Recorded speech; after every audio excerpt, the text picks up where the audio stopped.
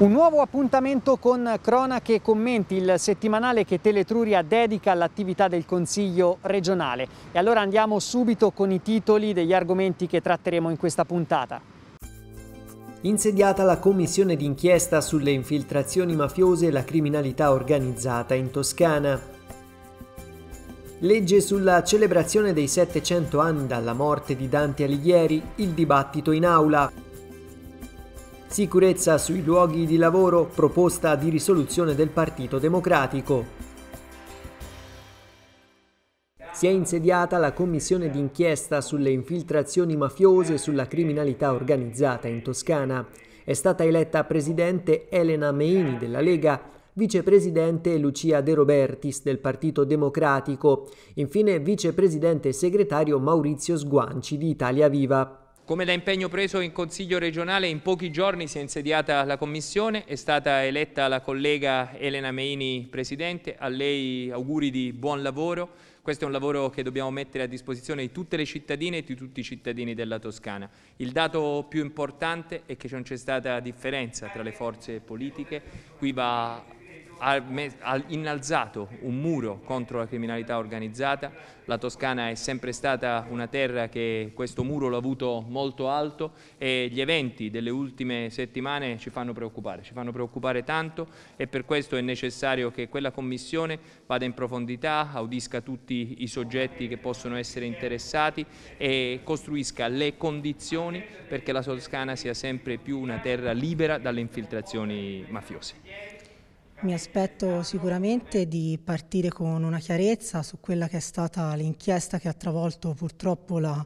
nostra regione, però non ci fermeremo assolutamente lì perché purtroppo lo abbiamo visto, in Toscana la mafia c'è, esiste e il compito della Commissione e dei consiglieri regionali deve essere quello di far sì che si applichino, si studino delle nuove norme per far sì che tutto ciò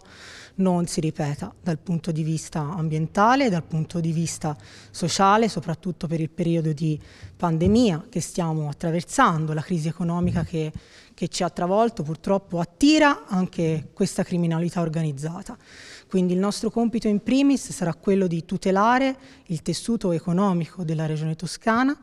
studiare il, mondo imprenditoriale e far sì che ulteriori infiltrazioni mafiose non si ramifichino nella nostra regione. Che la regione metta in atto quelle quelle procedure, quelle attenzioni, quelle modifiche normative laddove fossero necessarie per, eh, per evitare che eh, chi molto più bravo di noi a volte riesce a infiltrarsi nelle maglie delle leggi, dei regolamenti, delle delibere, delle, delle interpretazioni. Questo io mi auguro questo, di riuscire attraverso le audizioni di ascoltare tanti soggetti, eh, e di capire se la normativa regionale davvero riesce a mettere in sicurezza questa regione dalle infiltrazioni mafiose, o perlomeno fa di, quello che può fare rispetto alla capacità e alla possibilità che abbiamo noi di normare eh, tutta una serie di attività per evitare che eh, chi vuol fare della regione una terra del, dove tutto si può, si può fare ha, sbagliato regione. Il nostro impegno sarà non tanto quello di occuparci dei fatti occorsi perché quello è compito della magistratura, ci sono indagini in corso, quindi non saremo noi ad intralciarla. Cercheremo di contattare tutte le prefetture per capire lo stato dell'arte che la fragilità in questa regione in qualche modo ha apportato. la pandemia ha portato questa fragilità nella regione. Chiaramente in un momento di così grande difficoltà economica per le cosche mafiose è assai più facile penetrare il tessuto produttivo, noi cercheremo di capire quali sono le criticità in modo da poterle poi prevenire portandole alla luce del sole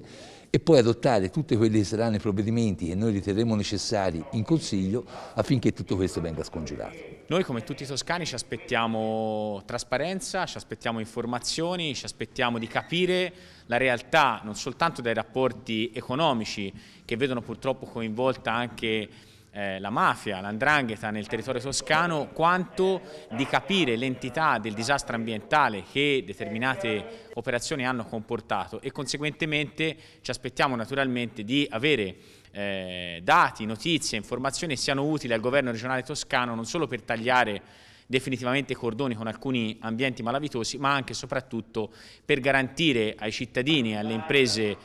pulizia, eh, anche pulizia ambientale e soprattutto la possibilità di operare in un sistema economico corretto. Presidente e ufficio di presidenza hanno incassato il solo voto contrario di Rene Galletti del Movimento 5 Stelle. Una scelta non sulle persone ma sul metodo, ha spiegato la capogruppo Pentastellata, lamentando ancora una volta il mancato coinvolgimento del movimento nel confronto con le opposizioni. Ancora una volta è stato utilizzato il metodo di escludere il Movimento 5 Stelle dalla discussione che è diventata monopolio da una parte della coalizione di maggioranza e dall'altra dalle opposizioni del centro-destra. La cosa curiosa è che l'unico gruppo regionale che sicuramente non ha avuto nessun contatto di nessun tipo anche durante la campagna elettorale con eh, le, diciamo, le, chi in questo momento è oggetto di inchiesta è stato proprio il Movimento 5 Stelle, quindi probabilmente l'unico che poteva garantire un'assoluta eh, diciamo, lontananza dai temi molto difficili che saranno trattati in questa, in questa Commissione, alla quale comunque auguro buon lavoro e, e a cui do subito un, una prima indicazione secondo me di come si dovrebbe impostare. Cercare di fare un'esatta un panoramica della situazione ambientale in Regione Toscana che ha coinvolto eh, diciamo non soltanto lo scandalo Cheu ma anche altre iniziative dove ci siano coinvolgimenti della criminalità organizzata e cercare anche di fotografare quelle che sono le carenze del Consiglio regionale e della Giunta per quanto riguarda la permeabilità a eh, fenomeni di tipo corruttivo ma anche e soprattutto di infiltrazioni di eh, organizzazioni malavitose e eh, connotazioni di carattere mafioso e su questo devo dire che è un peccato aver, non aver sfruttato le indicazioni che sono arrivate dalla Fondazione Caponnetto e dalle molte persone che sono state audite nel 2018 durante la commissione d'inchiesta rifiuti all'epoca presieduta dal Movimento 5 Stelle. Una legge per celebrare il sommo poeta, autore della Divina Commedia e simbolo della cultura italiana nel mondo. A 700 anni dalla morte di Dante Alighieri, scomparso nella notte tra il 13 e il 14 settembre del 1321, il Consiglio regionale celebrerà questo anniversario organizzando eventi e promuovendo, in particolare, mostre ed esposizioni, iniziative di studio e di ricerca, convegni, presentazioni di libri, laboratori didattici e spettacoli. È stata approvata la legge con il voto favorevole di PD, Italia Viva e Movimento 5 Stelle, il voto contrario di Fratelli d'Italia e Forza Italia e l'astensione della Lega. Questa legge è importante, io l'ho anche firmata e in commissione ho votato favorevolmente. L'ho votata, cioè l'ho firmata perché Dante non rappresenta solo la Toscana, ma direi che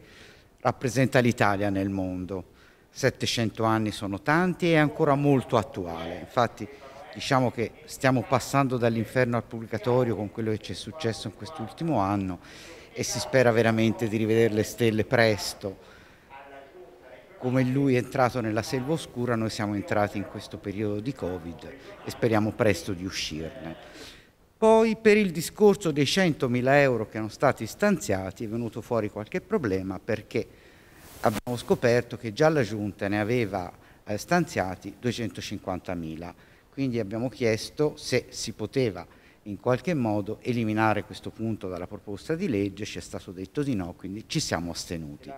Però per me Dante è sempre il sommo poeta. Noi abbiamo scelto di votare contrario all'istituzione della legge su Dante. Siamo certamente favorevoli a ricordare Dante a 700 anni dalla sua morte, Sappiamo anche che l'infrastruttura più importante che questo Paese ha è l'infrastruttura culturale e su questo dobbiamo puntare. Però abbiamo anche consapevolezza di cosa stiamo facendo. Mettere oggi 100.000 euro del Consiglio regionale, dei soldi dei cittadini, per ricordare Dante quando la Giunta ne ha già messi 200 e quindi sommandoli si arriva a oltre 300.000 euro, a noi sembrava eccessivo. Le famiglie non arrivano a fine mese, molte delle nostre aziende stanno chiudendo, molte delle attività commerciali non riusciranno a riaprire post pandemia. Crediamo che le risorse debbano essere non soltanto gestite come il buon padre di famiglia, ma anche in maniera molto oculata. Ecco perché abbiamo votato contrario, perché la legge è tardiva, perché c'è già la giunta regionale che ha investito 200 mila euro. Se si vuole fare qualcosa su Dante di estremamente serio lo si doveva fare prima. Guardate, il 25 di marzo è il,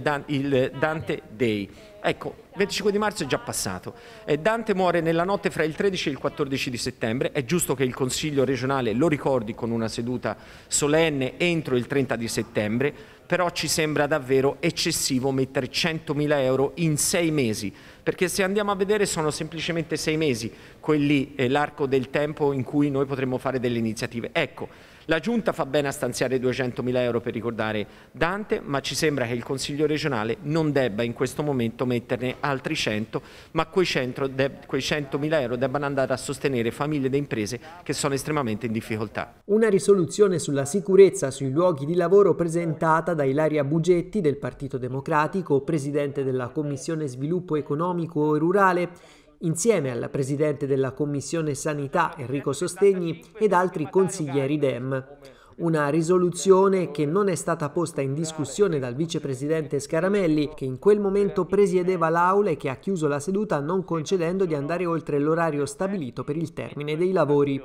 Abbiamo presentato, presentato prima firmataria insieme al Presidente Sostegni una proposta di risoluzione sulla sicurezza dei luoghi di lavoro legata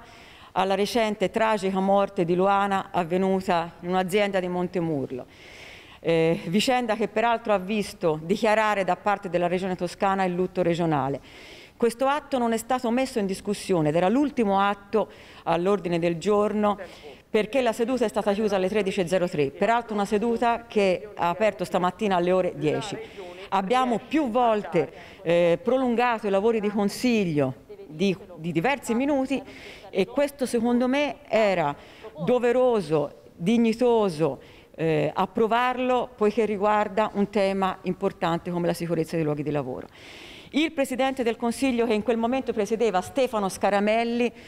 ha chiuso il Consiglio senza consentirci di discutere un ordine, una proposta di risoluzione così importante, che peraltro impegna la Giunta, impegna la Giunta sulla, a continuare sui progetti sulla sicurezza dei luoghi di lavoro, in particolare a riprendere i corsi di formazione che sono stati sospesi a causa del Covid, a riprendere la cultura della, lega, della legalità, della sicurezza, a stanziare risorse, a inserire nel nuovo piano regionale di sviluppo e ovviamente a coinvolgere le commissioni competenti. Ribadisco e eh, ho un profondo rammarico e dissenso nel non aver consentito al Consiglio di discutere quest'atto in questo momento. Lo ripresenteremo il prossimo Consiglio, ma è un atteggiamento che ritengo profondamente irrispettoso per il caso di Loana e per tutte le morti sui luoghi di lavoro. Se la Presidente Bugetti aveva a cuore la propria mozione avrebbe potuto chiedere a tutti di condividerla al fine di anticiparla, ha replicato il Vicepresidente Scaramelli, così da essere sicura che venisse votata prima della fine della seduta. Questo prevede il regolamento dell'aula consiliare e il rispetto delle regole bipartisan che ci siamo dati per tutelare maggioranza ed opposizione, conclude Scaramelli. Non è stata discussa perché il Presidente del Consiglio regionale, in quel momento eh, Stefano Scaramelli di Italia Viva, ha ritenuto di chiudere il Consiglio regionale prima che il Partito Democratico potesse presentare quella mozione per, sulla quale serviva, va detto, non era una mozione all'ordine del giorno, quindi serviva comunque l'accordo di tutti i capigruppo e per Fratelli d'Italia la discussione era assolutamente consentita e ci poteva essere, c'era la nostra disponibilità. Va detto anche che qual è stato il motivo che ha portato il Consiglio ad andare lungo e a sforare. Il Consiglio è andato lungo e ha sforato perché su due mozioni prima per aspettare che il Partito Democratico potesse raggiungere la maggioranza e bocciare una proposta di Fratelli d'Italia, la votazione è durata tipo a oltranza fino a che non arrivavano ad essere 16 in aula per raggiungere la maggioranza, fino a che i consiglieri non finivano di prendere il caffè e tornavano in aula. Se una, una votazione anziché durare un minuto dura 10, è ovvio che poi si sfora. Ed è tutto, grazie per la cortese attenzione, Cronache Commenti torna la prossima settimana.